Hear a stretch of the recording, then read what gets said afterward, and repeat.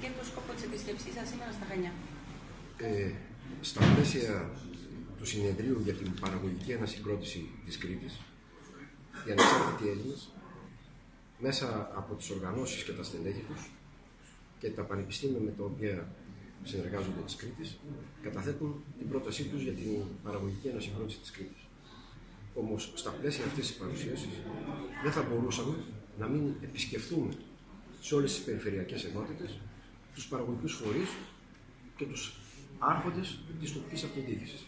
Έτσι, γι' αυτό τον λόγο σήμερα βρίσκομαι εδώ στο Δημαρχείο Χανίων. Ευχαριστώ πάρα πολύ τον Δήμαρχο για την υποδοχή την οποία μας έκανε και θα έχουμε μια επικοδομητική συζήτηση πάνω σε αυτά τα οποία λίγο προηγουμένως ακούσατε για τις προτάσεις που κάνει και ο Δήμος Χανίων για την παραγωγική ανασυγκρότηση της Περιφερειακής Ενότητας Χανίων, των Χανίων, αλλά και γενικότερα της Κρήτης. Ε, πότε είναι το συνέδριο ε, στο 20-21, Τετάρτη και Πέμπτη. Κύριε Αλγουρίδη, ακούσαμε τον πρόεδρο της Νέας Δημοκρατίας από το Βήμα της Διεθνούς Έκθεσης Θεσσαλονίκης να κατηγορεί την κυβέρνηση ΣΥΡΙΖΑ ΑΝΕΛ ότι έχει φέρει στη χώρα το τέταρτο μνημόνιο. Ποια είναι η θέση σας, ε, το σχόλιο σας ως πρόεδρο, ο αντιπρόεδρος των ΑΝΕΛ. Αυτό που έχω να πω είναι ότι η κυβέρνηση αυτή δεν ευθύνεται για το μνημόνιο. Βρήκε μια κατάσταση και προσπαθεί με κάθε τρόπο να φτάσουμε στο τέλος, ώστε το 2018 η χώρα να φύγει από την Επιτροπή. Όμως, στον δρόμο αυτό ήμασταν υποχρεωμένοι να διαχειριστούμε αυτό που βρήκαμε.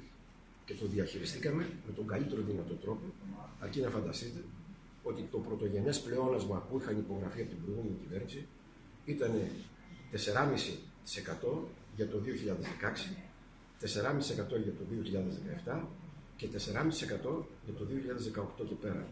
Όταν η χώρα σήμερα δεν μπορεί να φέρει σε πέρας πρωτογενές πλεόνασμα 3% ή ήταν δυνατόν να φέρει σε πέρας αυτό το πλεόνασμα, σημαίνει ότι θα ήταν δυσβάστακτο για τον ελληνικό λαό, δηλαδή ουσιαστικά οι Έλληνες θα βρισκόταν όχι σε κατάσταση φτώχειας, τελείας ένδυα.